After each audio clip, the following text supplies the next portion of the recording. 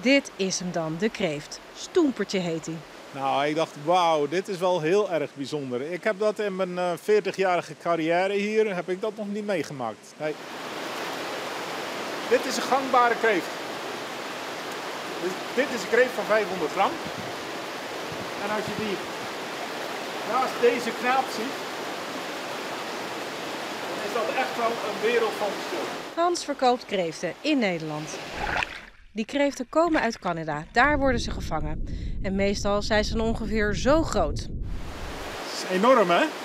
11 kilo. Dat is echt heel, heel groot. Stoempertje is niet alleen een stuk groter, hij is ook heel oud. En dat weten ze omdat hij zo zwaar is. Groter ondersteunen, omdat die zo vreselijk zwaar zijn. Hoe ouder een kreeft, hoe meer die weegt. Hoe oud een kreeft precies is, kun je pas goed onderzoeken als hij dood is. Eerder is een kreeft van zo'n 80 jaar oud gevonden. Die was ruim een kilo lichter dan Stoempertje. En daarom denken ze dat Stoempertje zo'n 100 jaar oud is. In het wild worden kreeften normaal niet zo oud. En daarom willen ze Stoempertje niet verkopen, maar terugsturen. Hij gaat terug naar huis. Hij uh, heeft zichzelf zo goed verscholen gehouden.